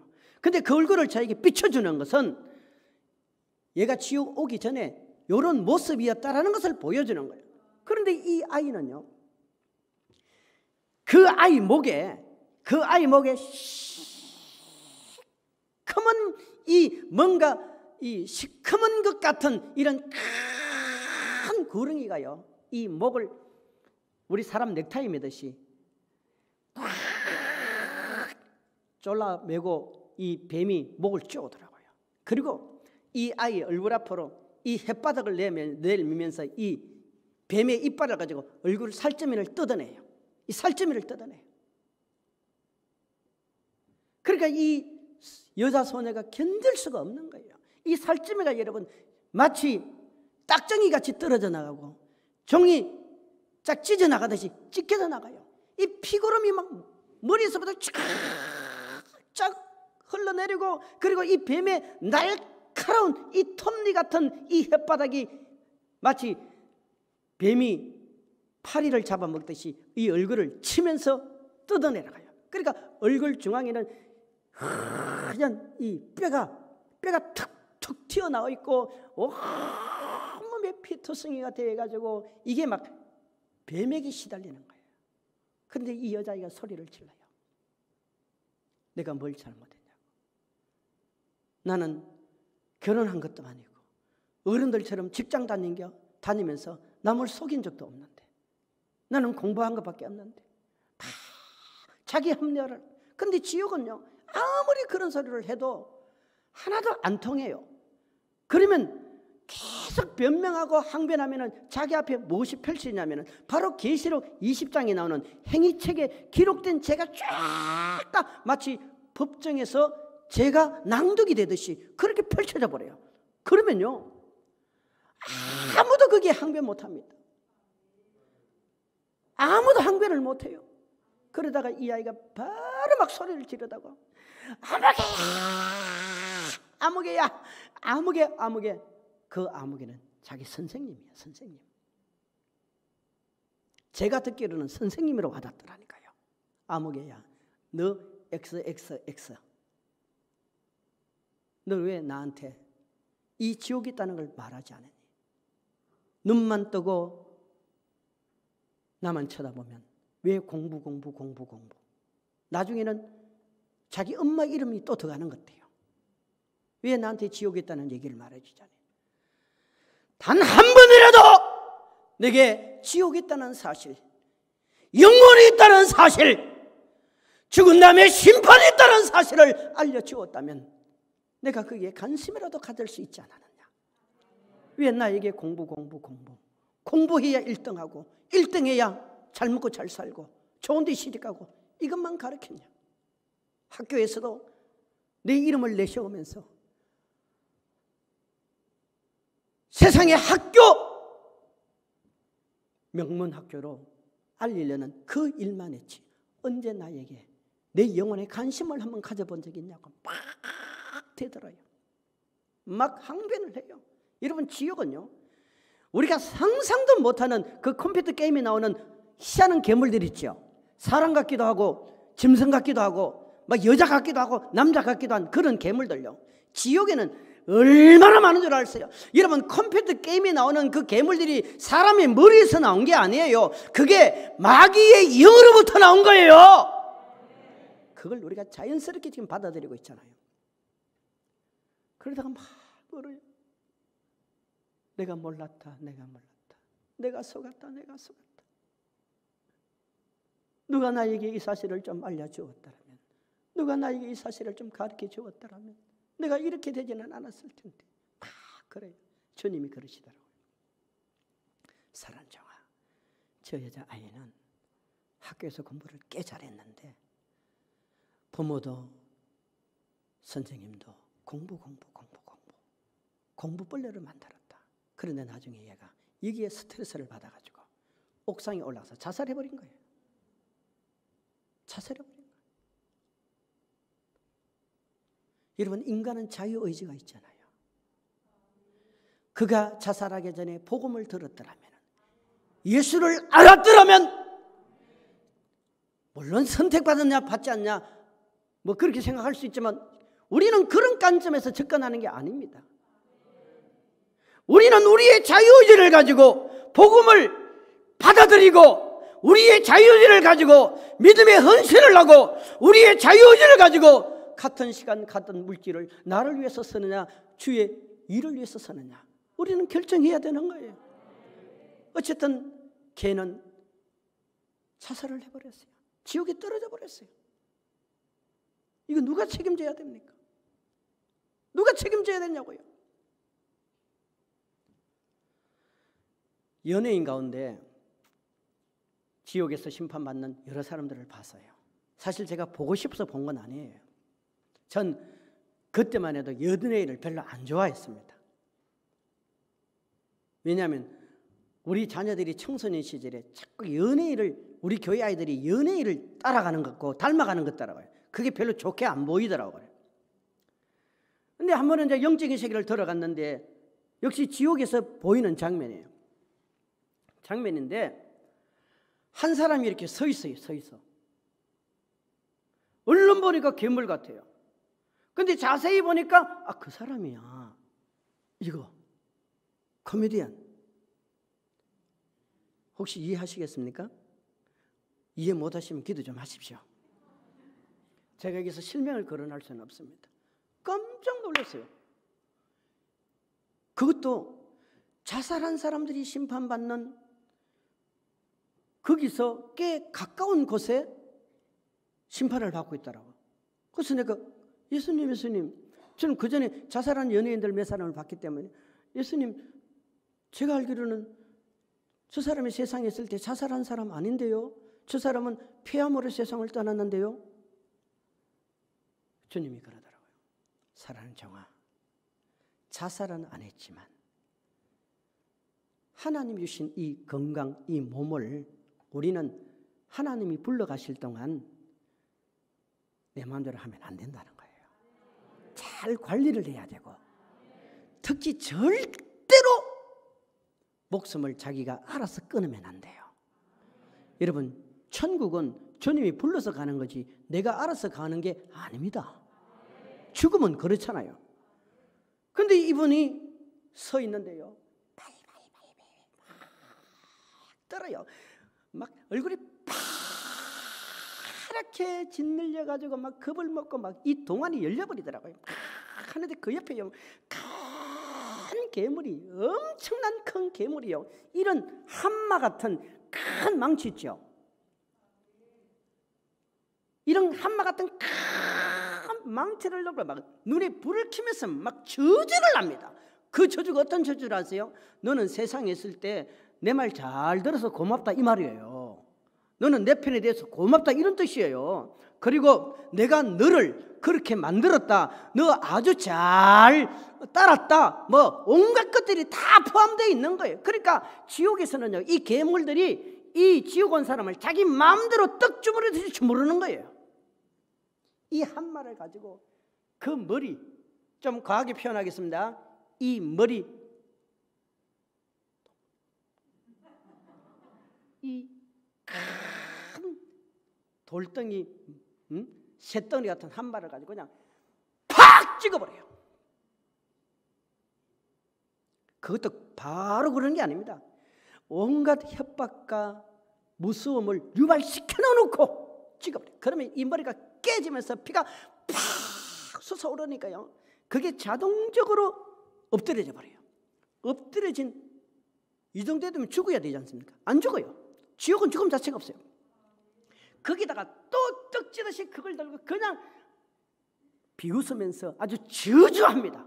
왜냐하면요, 이 지옥에 있는 귀신들은 하나님을 원수로 생각합니다. 하나님을 원수로 생각하는데 저가 하나님을 디양을 못하니까 원수를 누구한테 갚느냐? 하나님의 형상과 모양을 닮은 인간에게 갚는 거예요.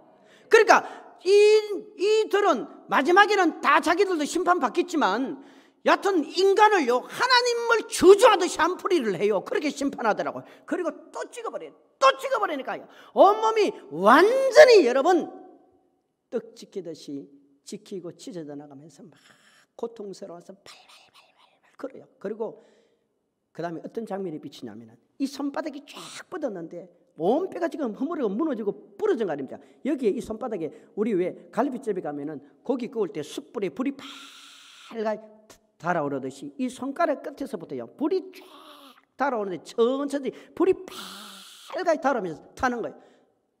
신기하더라고요. 근데 안 죽어요. 그리고 시간이 얼마나 지났는지 모르지만 벌떡 일어나서 하는 말이야. 내가 아무겠는데. 내가 아무겠는데.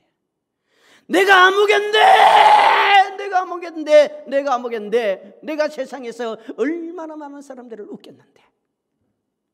내가 얼마나 많은 사람들을 웃겼는데 내 이름 석자 되면 모르는 사람이 없는데 내가 얼마나 많은 돈을 벌였는데 내가 누군데 내가 누군데 막 그래 지옥에는 그런 게 소용이 없어요 그리고 이 괴물이 또 그를 또 찍어버리더라고요 이게 반복이 돼요 그게 몇 시간이 걸쳤는지 그거는 모릅니다 저는. 심판을 그렇게 받는데 문제는 안 죽는다는 거예요. 안 죽는다는 거예요. 고통은 그대로 느끼는데 안 죽는다는 거예요, 여러분. 그때 주님이 그러셨어요. 사람이 자기 몸을 함부로 재짓는 곳에 내팽개치고 독극물이나 예를 들면 마약 같은 거 먹고 자기 몸을 망가뜨리고 자기 몸을 해코지하는 것도 간접 살인죄라 그랬어요. 무슨 죄라고요? 간접 살인죄. 여러분과 나의 몸은 우리의 것이 아니에요. 아니에요. 그런데 손가락 끝에 새빨갛게 불이 타오르는 것은요. 저는 그것을 100%는 설명을 못 하겠습니다. 왜 그 장면을 보이냐면요. 우리가 모르는 이 손가락으로 하나님 보실 때 엄청 싫어하는 죄를 범죄한 거예요. 그게 뭘까요? 제가 생각할 때는 추측은 가지만 여러분이 기도하면서 물어보세요. 우리는요, 이 눈이 하나님의 눈이 대신될 수 있습니다. 이 입이 하나님의 입이 대신될 수 있습니다. 이 손이 하나님의 손이 대신될 수 있어요. 이 발이 하나님의 발이 대신될 수가 있습니다. 반대로 말하면 이 눈이 죄를 짓는 마귀의 눈이 될 수 있고 마귀 입이 될 수 있고 마귀의 팔다리가 될 수 있습니다. 그런데 하나님은 우리가 의의 병기로 쓰임 받기를 원하는 거예요. 고린도서 5장 10절 고린도서 5장 10절 자 봅시다. 시작 아니 고린도 후서 5장 10절 시작.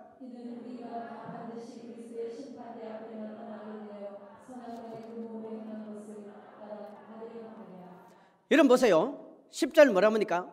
이는 반드시 그리스도의 심판대 앞에 누가 섭니까? 우리 모두가 나섭니다. 그런데 그때 하나님은 무엇을 근거해서 상 주고 벌 주느냐? 무엇을 근거해서 몸으로 행한 대로. 몸으로 행한 대로. 몸으로 행한 대로. 할렐루야. 지옥에 한 장만 더 얘기할게요. 여러분, 지옥에서 심판받는 사람들의 모습은요, 어디를 가도 좋은 모습은 한 군데도 없습니다. 지금 우리가 상상하는 것보다요, 훨씬 무서워요. 우리가 사극에 나오는 고문받는 그 정도로 생각하시면 절대 안 돼요. 하나님은 사랑의 하나님만요. 하나님이 심판하실 때는 그 하나님은 무서운 공의 하나님이에요. 한 곳을 보여준데 여기서 제가 다섯 사람을 다섯 사람인가 이래 봤어요. 여기는 음란의 죄를 지어서 심판받는 것이에요. 한 곳에 이제 어떤 여자가 이렇게 앉아 있어요. 앉아 있는데 얼른 봐도 나이가 좀 들어 보기도 하고 뭐 젊어 보기도 하고 이런 사람인데 얼른 봐도 아 세상에서 조금 그래도 좀 내세울 만한 게 있었나 보다 할 정도 이런 느낌이 와요. 보니까 얼굴도 뭐 뚱뚱하면서도 이렇게 좀 크고 몸체도 좀 그러한데 지옥에는 다 그렇게 바뀌어져 있으니까 본데 보니까 지옥에는 옷을 안 입고 있습니다. 아이고 목사님 부끄러워서 어떡합니까? 지옥은 부끄러운 건 죄도 아니에요. 아니라니까. 모두가 여러분 불에 타고 찍혀 나가는데 무슨 옷이 필요해요? 없어요. 사람이 사람으로 안 보여. 마치 우리가 보면은 여러분 소가 옷을 입고 있습니까? 돼지가 옷을 입고 있습니까?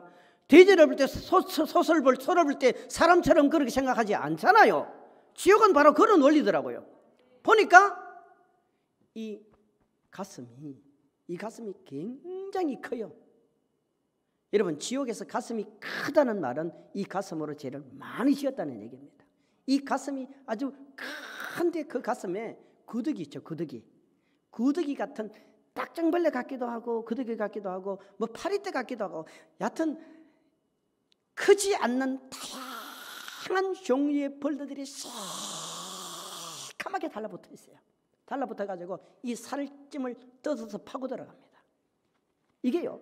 우리가 바늘에 찔려도 아픈데 그 벌레들이 파고 들어가면서 이 살찜을 뜯어냅니다. 뜯어내면요. 여기서 피거름이 쫙쫙 흘러나오는데 이게 막 너무너무 고통스러워 가지고 견디지를 못해요. 그리고 이 여자의 생식기를 보여줍니다. 여러분 지금 살아있는 사람들의 몸매하고는 완전히 다릅니다. 이 생식기가 얼마나 큰 줄 몰라요. 여러분 생식기가 크다는 말은 그 생식기로 죄를 많이 지었다는 이 얘기를 지금 하는 거예요. 그런데 그 생식기 안으로 구렁이가 들어가요. 그냥 구렁이가 들어가는 게 아니에요. 이걸 파헤쳐요. 몸을 파헤쳐요. 그러면 이 파헤치가 들어가서 이 생식기 속으로 들어가서 이 속에 있는 내장, 오장육부를 이 구렁이가 딱 뜯어내 버려요. 그러면 이것이요 마치 썩은 피고름 같이 흘러 흘러내립니다. 이게 반복이 되니까 사람이 살 수가 없죠. 그렇다고 지옥은 죽음이 있는 것도 아니에요. 이게 큰 구렁이가 마치 터널을 들어가듯이 그 여자의 몸속에 생식기로 들어가서 딱 뜯어내보니까 이 더럽고 피고름에 이 더러운 것이 막 항문으로 생식기로 흘러 흘러내리고 이 가슴은 뜯어지고 그러니 여러분 이 사람이 얼마나 그 속에서 고통스럽겠어요.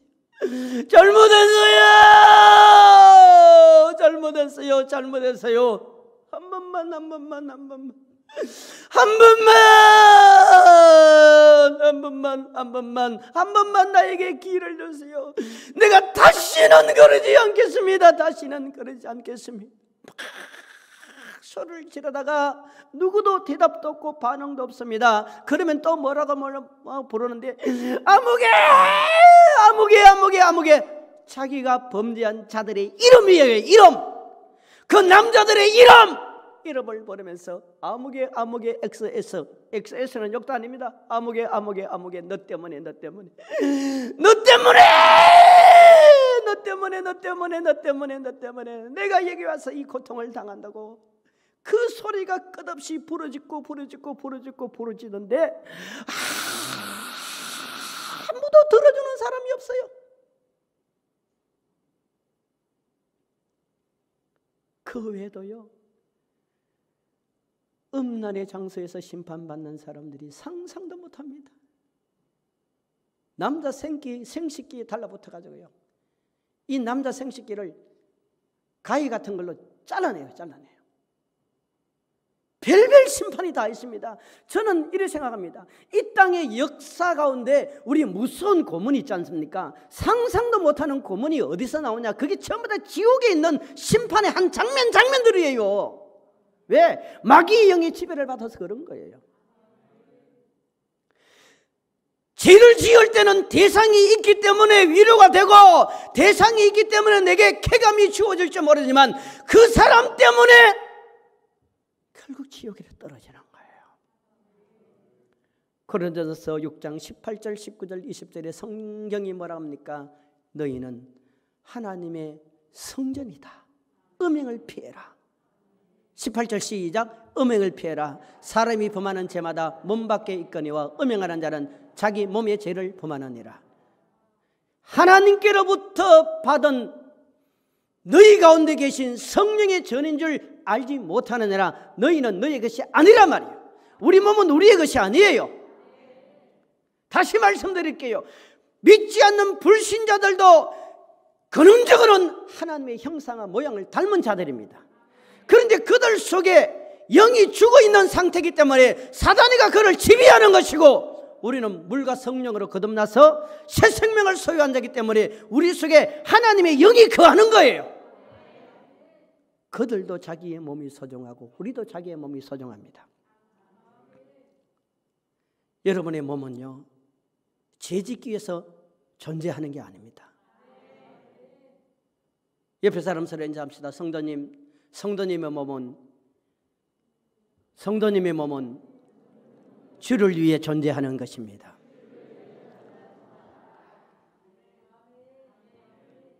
한 장면만 더 얘기하고 마무리하겠습니다.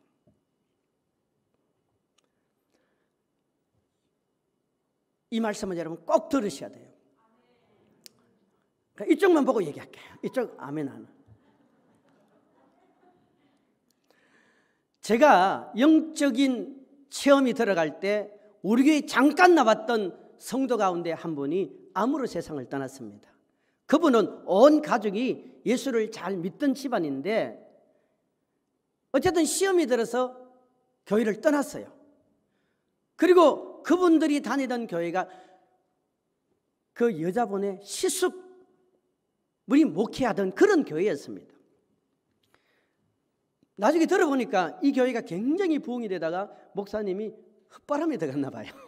그래가지고 문제가 생겨가지고 교인들이 뿔뿔이 흩어지고 나중에 이 스트레스를 이 목사님이 자기 가족들에게 푼 거예요. 그러니까 결국 견디다 견디다 못해가지고 이분들이 남편, 아들, 딸, 이 부인까지 교회를 나오고 결국 그 교회는 문을 닫았는지 다른 사람이 인수를 받았는지 하고 그 시숙 되시는 분하고 그 다음에 동서 되시는 분하고 조카 되는 아들이 있었는데 목사님은 암으로 돌아가시고 사모님은 교통사고로 돌아가시고 하나밖에 없는 아들도 교통사고로 죽어버렸어요. 여러분 교회를 소중히 여겨야 됩니다. 세상 사람들이 교회 소중한 줄 몰라요. 큰일 납니다. 이쯤 되어지면은 교회를 떠나도 돌아와야 돼요, 안 돌아와야 돼요? 돌아와야 되는데요. 이 신기한 것은요, 알면서도 안 돌아와. 왜? 교회 나가다가 안 나가면 얼마나 편한 줄 몰라. 주일날 늦잠 자도 되지요. 교사 안 해도 되지요. 11조 안 해도 되잖아. 그죠?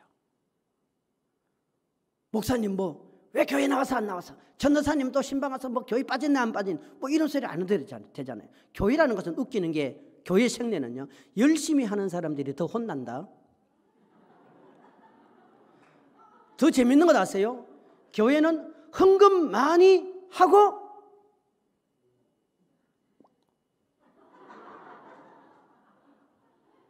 제 말이 틀렸습니까? 목사님이나 교육자들은요, 열심히 하는 사람이 더 열심히 하기를 원해요. 그게 주님의 마음이에요. 근데 이런 모든 면에서부터 이 사람이 해방돼 버렸잖아. 이게 3년에 가고 5년에 가고 7년에 가고 10년에 가고 이렇게 가버린 거야. 그리고 그 남편이 우리나라에 꽤 괜찮은 직업이 있었는데 사귀었어요. 인물이 전분이에요. 그리고 그렇게 지내다가 나중에 남편이 저기 은퇴했어요. 꽤 높은 공무원이었는데 여자한테 잘못 걸려가지고 이게 다 날라가 버렸어요. 그리고 아들도 딸도 직장도 안 나가고 이 여자분 혼자서 이제 있는 보험회사 보험 해약 다 하고 식당에서 일하는 거예요. 그 가운데 그 친구가 우리 교회 건사라서 우리를 만나서 이제 전도를 하는데 우리가 그 사람이 교회를 얼마나 중단한지는 모르지만 우리가 그 사람과 관계하는 게 한 7, 8년이 되었어요. 그 7, 8년을, 8년을 관계하면서 보니까 사람이 너무 좋은 사람이야. 그때 세상 떠날 때 나이가 52세밖에 안 됐어요. 너무 이쁘고 착한 사람인데 교회를 안 나와. 계속 복음을 전하도 식사 대접만 한지 교회를 안 나오더라고. 그러다가 세상 떠나기 전에 두 달 전에 암이 걸린 거예요. 나중에 들어보니 암이 재발했다 그러더라고요. 재발했는데 이게 막 급속도로 변해가지고 나중에 세상 떠날 때는요. 그렇게 이뻤던 사람이 완전 곰처럼 바뀌어버려요. 곰처럼. 말도 못하더라고요. 말 한마디를 못하는 그런 가운데 어쨌든 병원에서 우리 정목사를 통해서 예수를 받아들이고 많이 울더라고요. 그리고 이 사람이 제가 작전기도 들어갔을 때 제가 월요일을 들어갔는데 화요일날 세상 떠났어요. 그리고 제가 목요일날 장례식을 치르고 저는 그때마다 영적인 은혜가 주어진 것도 아니고 나도 지금 몸이 다 망가져 있는 상태고 내가 천국 보고 지옥 보리라는 상상도 안 했고 하니까 장례식을 치르고 나서 얼마나 많이 울은 줄 몰라요. 그리고 나서 천국 문이 열렸을 때 그 사람이 천국 왔는지 안 왔는지 이게 너무너무 궁금한 거예요. 그런데 주님께서 이 장면을 보여주시는데 어떤 장면이 비치냐면은 황금 들판에 쫙 펼쳐지는데 천국은 데 많습니다. 펼쳐지는데 어떤 여자분이 황금 흔들 의자에 앉아가지고 너무 행복해하는 모습이 쫙 비치는 거야. 그래서 내가 보니까 그 사람이야. 이야! 미스 코리아보다 천 배나 이쁘다 그랬어요. 그 자리에서 고백이 그대로 나오더라고요. 몇 배나 이쁘다고요? 천 배보다 더 플러스 해도 돼요. 제가 표현을 그래 하는 거예요. 너무너무 이뻐요. 근데 죽기 전에 이 사람이 얼굴이 곰탱이 밤탱이였잖아. 완전히 천사처럼 변해버려서. 그걸 보면서 너무너무 내가 기쁘다라고. 왔구나, 왔구나, 천국 왔구나, 천국 왔구나. 남편한테도 저렇게 버림당하고 저렇게 어렵게 살았는데 왔구나, 왔구나. 그걸 바라보고 있는데 주님이 가만히 계시는 거예요. 저도 그걸 감격해 하다가 순간적으로 확 밀려오는 게 어떤 밀림이 오냐면 아, 저 사람이 구원은 받았는데 무슨 구원을 받았다고요? 부끄러운 구원 받았구나. 이 생각이 확 드는 거예요. 무슨 구원요? 다시 말해 무슨 구원? 부끄러운 구원. 왜 그걸 알게 되느냐면 천국은요.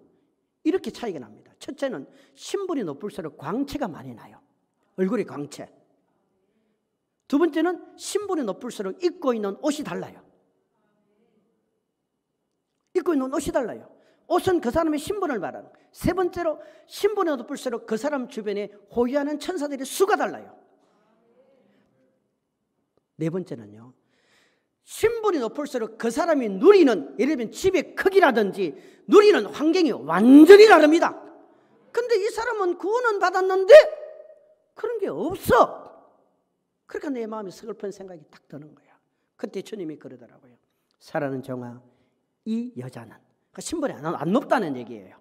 신분이 높으면 내 종이라 그래요. 이 여자는 이곳에서 구원은 받았는데 자기 따라합시다. 자기 무엇이 없다? 자 가르쳐 드릴게요. 자기 개인 집이 없다. 무엇이 없어요? 개인 집 없어요. 개인 집 없다니까요. 주님이 분명히 그러셨어요. 자기 개인 집 없대요. 언제 개인 집 지었어요? 언제 개인 집 지었어요? 우리말로 하면은 여러분 주의를 제대로 지켰습니까? 헌금을 제대로 했습니까? 전도를 했습니까? 어, 봉사를 했습니까? 주방에 가서 일을 했습니까? 겨우 마지막에 그전에는 교회를 다녀도 종교인이었던 것 같아요. 겨우 마지막에 주의 은혜로 구원받았어. 지옥 갈 사람이 구원받은 게 너무 감사하죠. 하지만 여러분, 우리는 그게 아니에요. 특히 군자 대행교는 절대 그렇게 되면 안 돼요. 왜 제가 주의 종을 잘 만나는 게 복이라고 생각한다고 말씀드린 줄 아세요? 제대로 된 주의 종은 영이 열려버렸기 때문에 여러분에게 요구하는 게 많아집니다. 제대로 신앙생활 하도록 요구하게 돼 있어요. 학교 안 가는 학생 자녀 둔 부모가 너 TV 보고 잠자라고 말하면 그 부모 아니에요. 나쁜 짓 하는데 그 자녀 놔두고 너 잘하고 있어. 너 장래가 보장돼서 어느 부모가 그런 소리 합니까? 미를 들었으라도 바꿔야지요. 목회자가 그런 거 아닙니까? 이 사람은요, 구원은 받았는데 자기 상급을 준비를 못했어요. 우리 박영교 목사님이라고 내가 본 천국 그 책 내신 분이 그랬었어요. 천국 가서 보니까 뭐가 있더라? 수용소가 있더라. 그랬어요. 이게 무슨 말이냐면요. 계시록 22장 5절에 우리는 왕궁처럼 왕궁을 치어서 천국 가는 사람이 있는가 하면은 전혀 천국을 위해서 복음을 위해서 헌신하고 수고하지 못한 사람은 예수의 공로로 구원은 받을 수 있습니다. 예수 믿으면. 그러나 하늘나라 뭐가 없습니까? 뭐가 없어요? 상이 없어요. 개인 집도 상이에요. 여러분 성경 보세요. 성경 전체가 우리에게 뭐라고 말합니까? 계시록 2장 23절에 또 내가 사망으로 그의 자녀를 죽이리니 모든 교회가 나를 하나님의 뜻과 마음을 살피는 자인 줄 알지라 내가 너희 각 사람의 모대로 행위대로 갚아주리라. 계시록 22장 12절에 주님이 이 땅에 오시는 목적이 두 가지입니다. 하나는 시작 보라 내가 속히 오리니 내가 줄 상이 내게 있어 각 사람에게 그의 마음대로 주님이 왜 오십니까? 믿는 우리의 입장에서는 왜 오십니까? 우리에게 뭘 주시려고? 상 주시려고. 불신자들의 입장에서는 뭐 하려고? 심판하시려고. 다른 거예요. 여러분 오늘 본문 보고 정리할게요. 자, 10절로 다시 봅시다. 고린서 3장 10절 시작. 내게 주신 하나님의 은혜를 따라 내가 지혜로운 건축자와 같이 틀을 닦아두매. 할렐루야. 우리의 인생이 집 짓는 것과 같다라고 얘기하는 거예요. 11절 시작. 이 닦아둔 것 외에 능히 다른 틀을 닦아둘 자가 없으니 이 터는 누굽니까? 예수 그리스도. 이만이 아닙니다. 장길자 아닙니다. 우리는 예수 그리스도라는 이름 위에 믿음의 집을 짓는 거예요. 우리 신앙생활이. 그런데 12절 시작.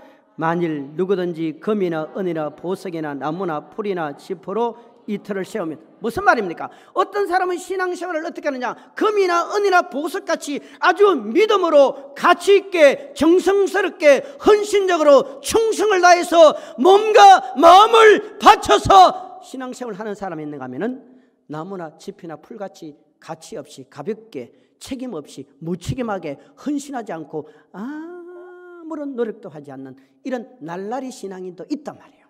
근데 지금은 몰라. 우리가 모른다니까요. 근데 성경이 말합니까? 13절 시작. 각 사람의 공적이 나타날 테는데 그날의 공적 얼마입니까? 주님이 심판한단 말이에요. 주님이 잣대로 심판한단 말이에요. 그 심판의 규정이 우리의 행위책이란 말이에요. 할렐루야. 그런데 무엇으로 심판하냐? 불로 심판한다. 이 불은 바로 성령, 하나님이란 이 말씀, 하나님의 말씀이란 이 뜻입니다. 14절 시작. 만일 누구든지 그 위에 세운 공직이 그대로 있으면 상을 받고 상을 받고 공직이 없으면 공직이 없으면 어떻게 됩니까?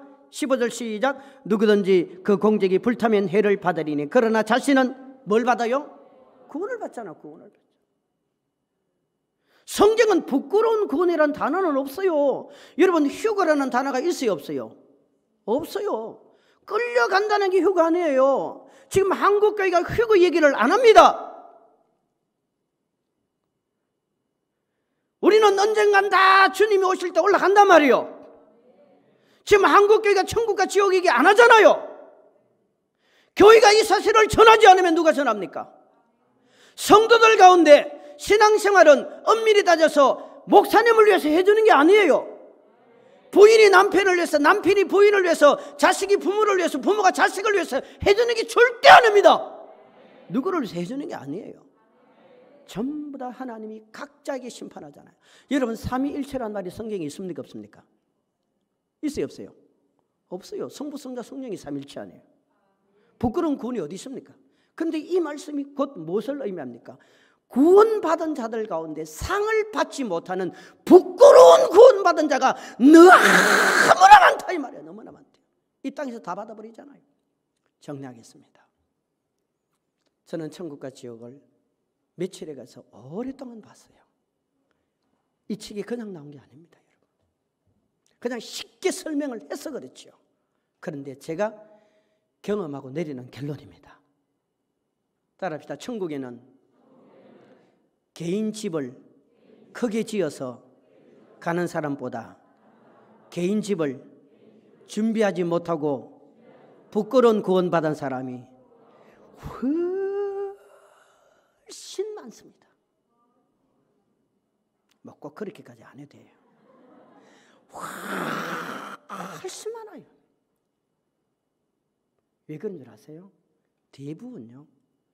우리도 예수님의 제자들처럼 세상에서 자꾸 높아지려고 하고 교회에서 자꾸 뭔가 자리 차지하려고 하는 게 너무 크기 때문입니다. 그러면 안 돼요. 그리고 우리가 예수님의 제자라고 말하면서도 너무 예수님을 반대하고 교회에 비협조적이고 목사님 사역 목회에 비협조하는 사람이 너무너무 많습니다. 결론적으로 말씀드리면요. 신앙생활은 알아서 하는 게 아닙니다. 여러분 신앙생활을 알아서 할 것은 뭐하러 교회 나옵니까? 신앙생활은 알아서 하는 것이 아니라 신앙생활은 성경대로 해야 되고 신앙생활은 주의 종의 목회에 순응해야 돼요. 여러분 천국의 왕궁 지읍시다. 천국의 왕궁 지읍시다.